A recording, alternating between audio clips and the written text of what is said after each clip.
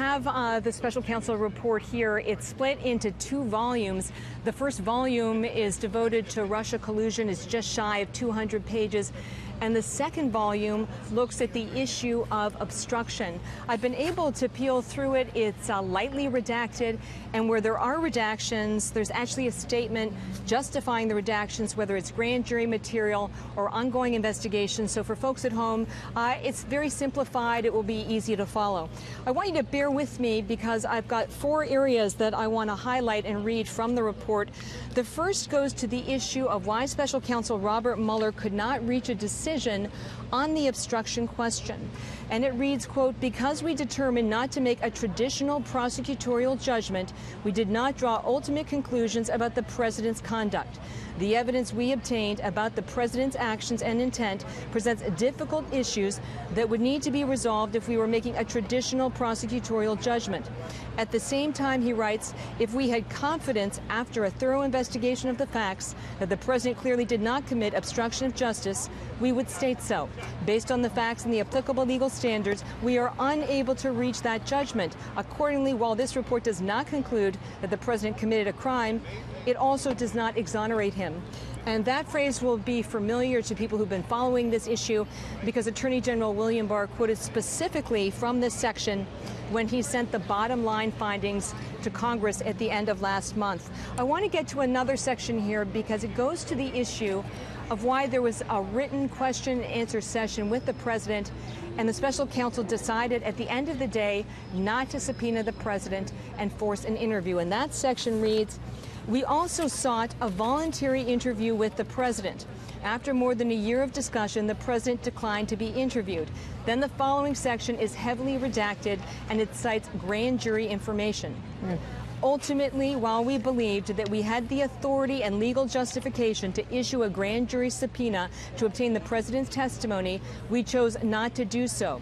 We made that decision in view of the substantial delay that such an investigative step would likely produce at a late stage in our investigation. We also assessed that based on the significant body of evidence we had already obtained of the president's actions and his public and private statements describing or explaining those actions, we had sufficient evidence to understand relevant events and to make certain assessments without the president's mm. testimony.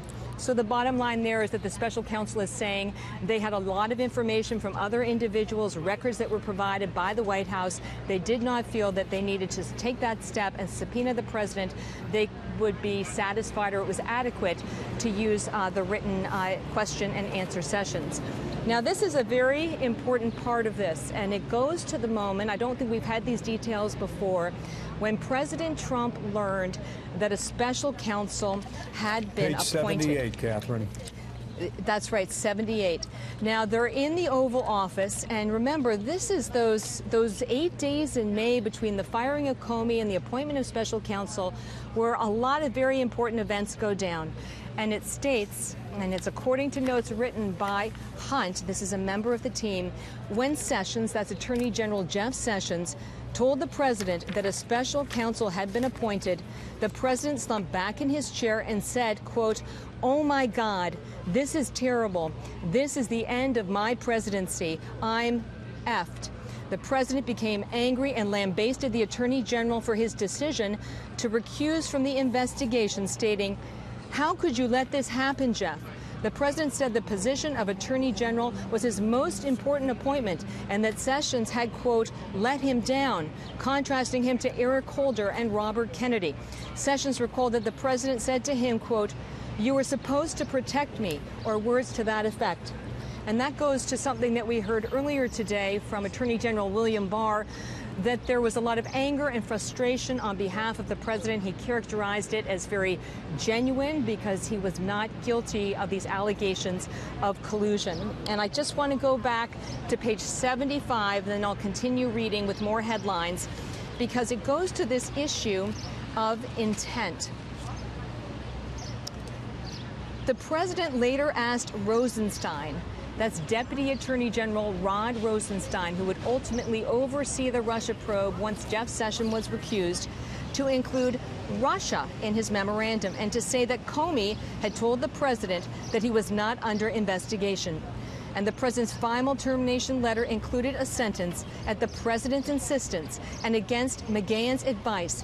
That's White House counsel Don McGahn stating that Comey had told the president on three separate occasions that he was not under investigation. So, on the intent question, the president wanted to make clear that he was not guilty of these allegations of collusion and that this had been shared with him with the then FBI Director James Comey. Okay. So, I'm going to just take a Yep, break keep here, Yeah, we'll continue you do reading and flagging headlines as we You get them. Catherine, Thank we'll you. come